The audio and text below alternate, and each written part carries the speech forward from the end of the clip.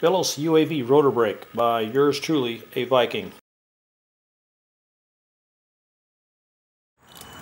When seconds count for normal shutdown or an emergency, stopping the rotor is priority. It will take 60 seconds at flat pitch, 30 seconds at full negative pitch, or 5 seconds or faster with a rotor brake.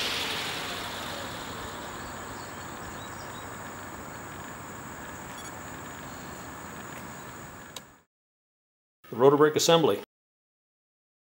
A brake pad is secured to the non-rotating brake disc.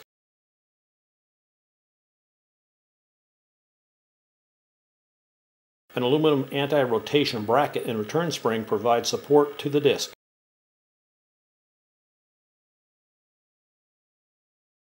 A square shank on the disc prevents rotation during brake application. The rotating disc is attached to the secondary shaft of the Velos UAV transmission.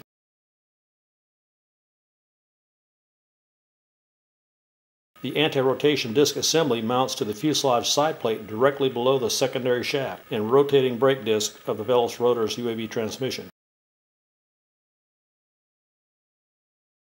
The servo is used for brake actuation and to control pressure on the rotor brake pad.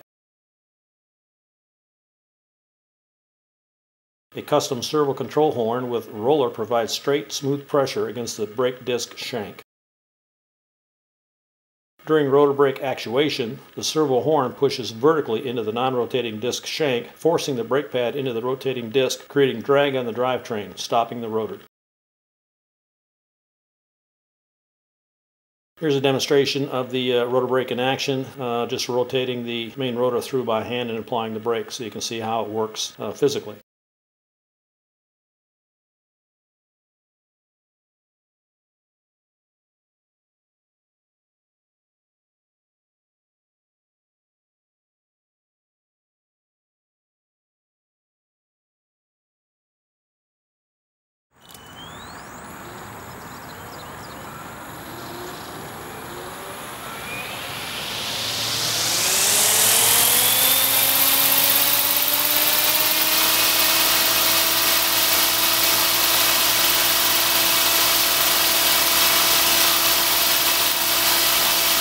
Throttle hold on, rotor brake on.